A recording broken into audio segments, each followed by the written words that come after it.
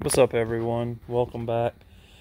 So today make a not a very in-depth video but a short video about Snap-on's multimeter advanced.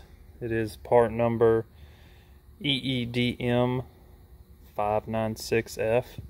I've had it for a couple of months and uh, haven't really had too much of a reason to use it, but that's how it usually goes. My fluke took a crap and really needed a meter. Decided to get this one, why not? It's supposed to be the best, I suppose. Um, and after I used it once, haven't really needed it again. It's just how it goes. Didn't even take the little screen protector off of it. But a few things about it that I've noticed. One is I'm not incredibly impressed with these leads. You know, for a $600 meter, you would think the leads would be a little better. But the tip on them, I mean, it's okay. And, but I'm not a big fan of the the alligator clips that come with it. They're kind of They're alright, I guess. But the leads themselves feel really, really cheap. Uh, most of the time, actually, I just end up using wherever they are. But, oh yeah, these the leads that came with the scanner. Uh, see, now that's an alligator clip.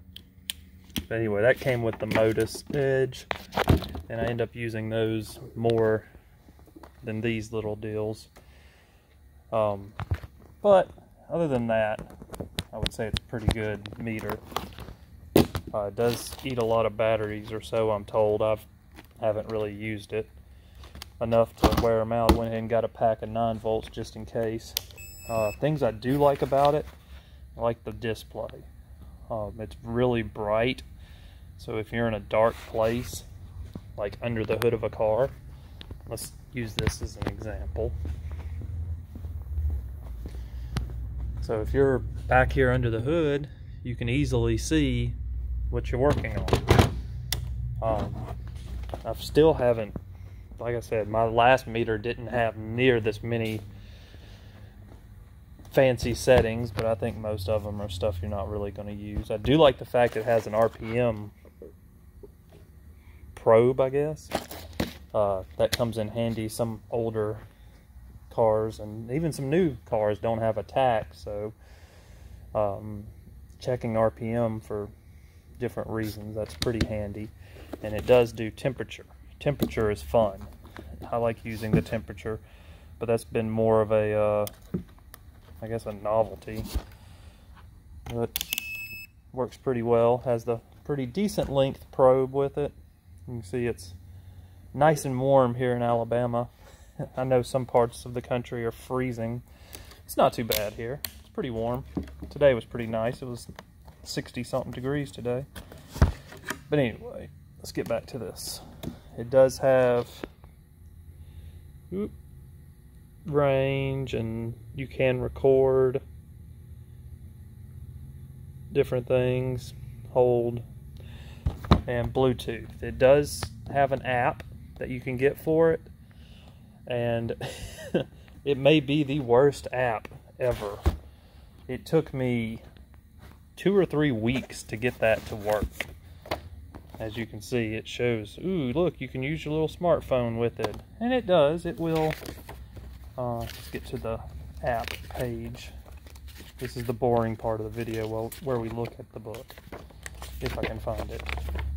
Well, I know it had one on here, but anyway, the uh, oh yeah. So the first few times I used it, I tried because the app is neat because you can leave the meter under the hood, get in the car, do whatever you need to do, and see what the meter's reading. Problem is, is it does not want to connect to the app.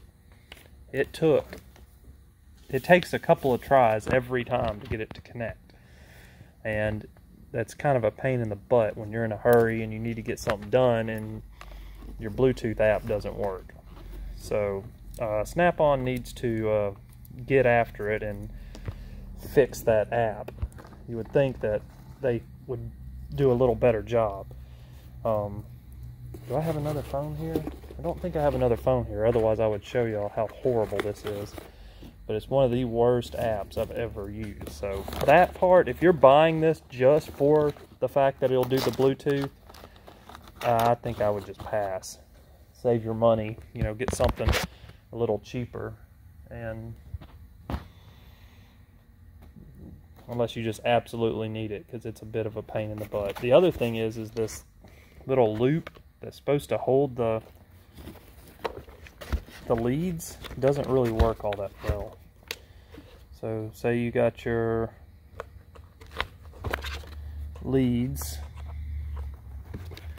and you're supposed to just be able to stick them under here. At least I think that's what this is for. I believe that's what it said in the instructions. Or that, I know that's what my dealer told me, but I don't think that's what that's for. Let's see, we don't have anything in there about the loop. My dealer said it was to hold the leads, but it doesn't really do a very good job of that. Even, yeah, see, I mean, that just, that's, that's ridiculous. Maybe there's something else. It's not strong enough to hang from that, but if that's for holding the leads, that's not a very good solution for it. So I wouldn't recommend that. It does have the, well, sometimes. Pulling it out backwards. Y'all can tell. I am not as thrilled with this as I thought I would be. It seems pretty cheap and kind of falling apart. Funny enough, tomorrow's video, sorry, while I try to fix this stupid thing, tomorrow's video is going to be about a $30 meter that I was much more impressed with. There we go. I'll have to give you a preview about tomorrow. Tomorrow we're going to be talking about another digital multimeter that costs $34 that has thoroughly impressed me. And don't get me wrong, this thing works great. Ish, besides the app and some of the features I think they could have put a little bit more time and effort into. You know, it does have a good screen, has plenty of features, does, you know, whatever you would want. But for the money, I just don't think it's quite worth the money. Anyway, tomorrow it's going to be a much, I guess, more positive video because we're going to talk about a $34 multimeter that does most of what this does, and I was actually surprised. Now, this one is hybrid rated. You can see. There we go. That's what all its ratings are. Anyway, tomorrow is going to be a much more interesting video, so stay tuned, subscribe for that. Until then, I'll see y'all later.